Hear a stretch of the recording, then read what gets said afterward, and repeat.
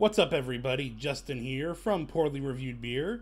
Uh, no beer review yet. I'm still uh, in the middle of booze free February, but we're get coming down to the home stretch. Next week marks just uh, one week to go, and I'll get into that uh, just a little bit later. But first, this uh, long awaited uh, little mini commentary that I've been talking about on uh, Twitter and on the website and so forth. So, just something I an, an observation from over the weekend uh, that I found. We, we here in Columbia had our big beer event of the year, the the World Beer Festival of Columbia.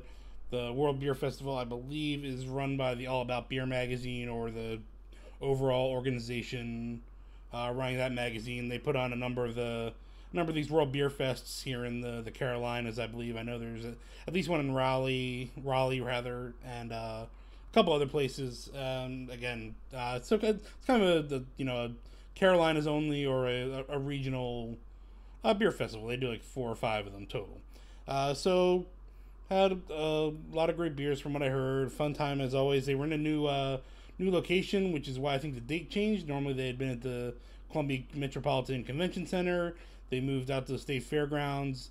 I think that's why the date moved. I had the date was normally for this event was normally in January, and that's why I did my uh, my non-drinking month of February. Now that that's been changed, I might have to uh, change when I don't drink, or at least keep an eye on the dates and and plan accordingly.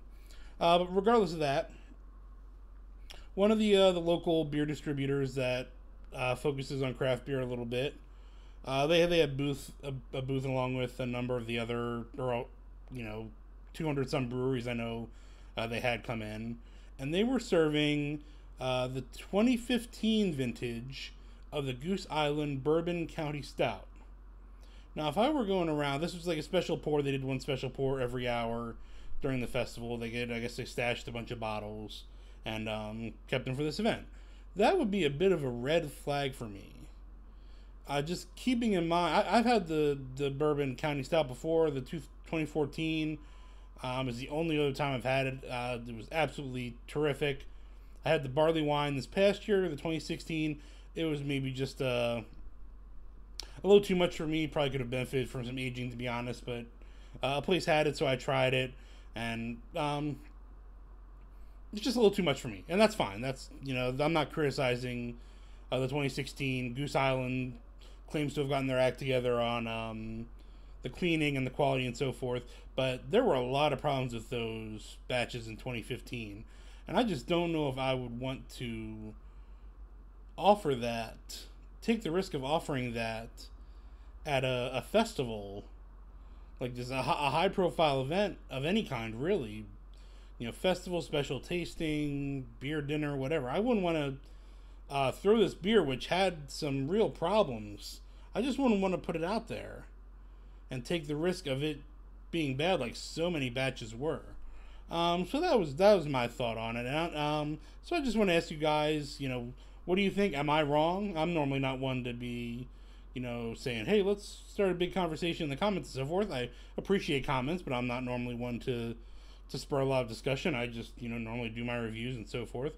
But in, in this case, I would certainly welcome some some comments on this matter. Am I just, you know, being too overreactive about this? And it's fine to it's fine to say that if that's the case. Uh, folks that have been to other uh, beer events recently. I know uh, one of my beer tubing colleagues went to a an event just this past same weekend. I don't know if they happen to be pouring this or if he's seen it in a uh, seen in another festival or anything like that. If, if you've seen it in a festival or at a, a special special tasting, this 2015 Goose Island Bourbon County Stout, let me know. Let me know how it went. And again, am I am I on the right track or am I on the wrong track on my sentiment about not wanting to take a risk with uh, trying this beer in a massively public forum and such a high profile forum.